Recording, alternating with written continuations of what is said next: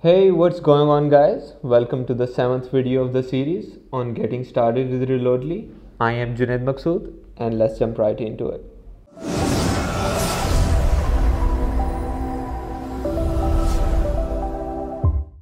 So previously on the series, we talked about commissions and how you can use them in your own projects. If you haven't checked the series yet, do give it a watch. It will give you a boost on how to get started with Reloadly platform. We have covered all aspects of the platform and we plan on covering much more. So don't forget to subscribe and hit that bell icon.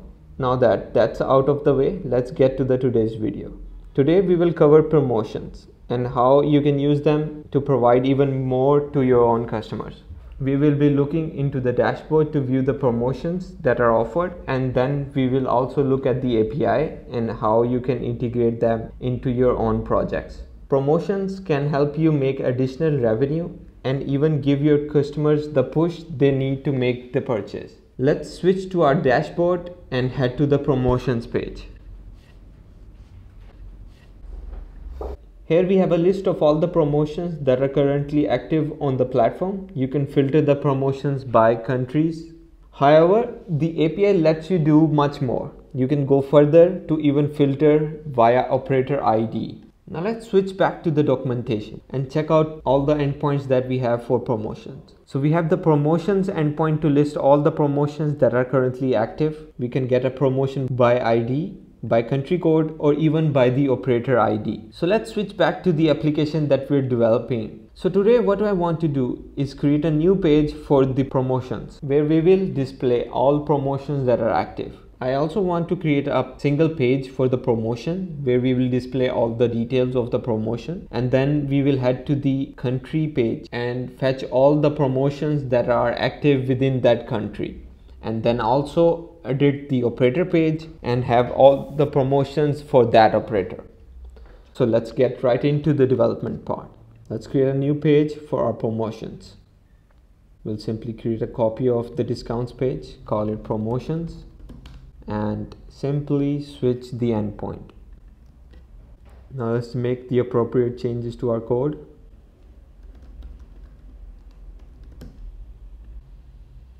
So let's check out the response in the documentation. So for each promotion, we're getting the promotion ID, the operator ID, multiple titles, the start date and the end date and so much more. So let's simply show the title of the promotion.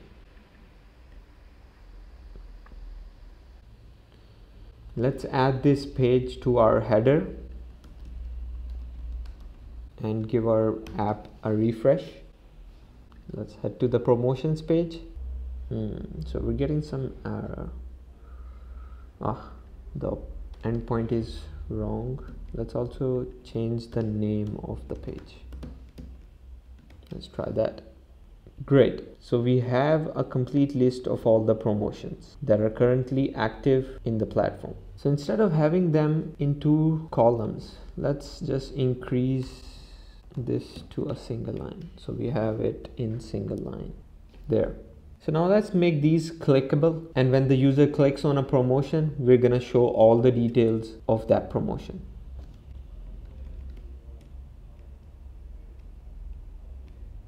Okay let's create the promotion page now.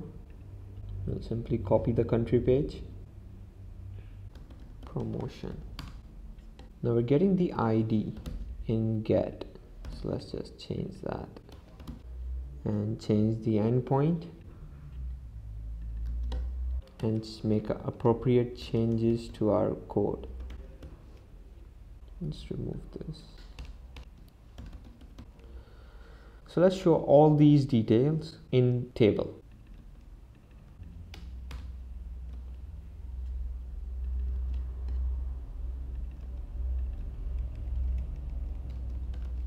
let's remove this code. Let's refresh and see if everything's working fine or not. Let's click on any promotion. Great. So we have all the details for this promotion. So our promotion page is done. Now let's head back to the country page and add promotions for that country so we're simply going to append the page create a new heading for promotions and then list all the promotions. So let's add another call to the promotions by country code endpoint let's create a copy of this. Promotions and promotions response. Promotion let's simply show what we've shown here. Let's try that. So we don't have promotions for this country. Let's try a different country. So there we go. This is working. So we have a country and all the operators within that country and we also have all the promotions within that country. Now let's head back to the operator page and we'll do the same thing. So we want to have all the promotions for this operator. Let's do that. So we'll edit the operator page. I'll simply copy this code, add the call here and change the endpoint. Great Let's copy this